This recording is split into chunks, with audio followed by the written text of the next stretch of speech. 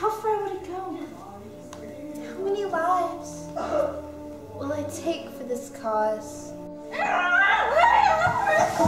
As to whether um, Miss Bathory should be put to death or not. She's killed 600 people, and yet you have the nerve to sit here before me and say she should not be murdered. Yes, she should not be. You disgust me. Guilty of killing 600 peasants to bathe in their blood to keep your eternal beauty. You, you would have not cared about those peasants.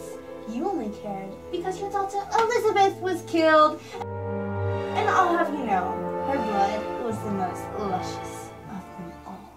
I noticed you haven't paid off all the bills yet. Bills? Yes, you know, the, the million you owe to me.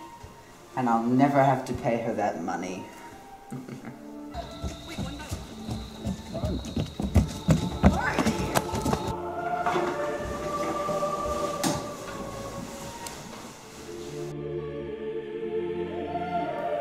I'm that girl you killed all those years ago.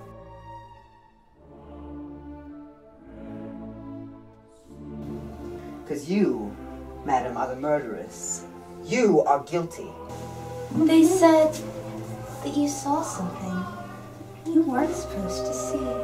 You were the most second powerful in the land. You could have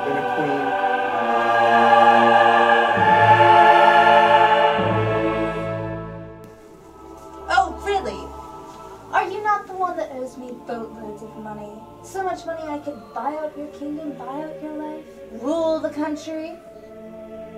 Do you want to know the reason you weren't queen? Because you're a Bathory. All of you are the same.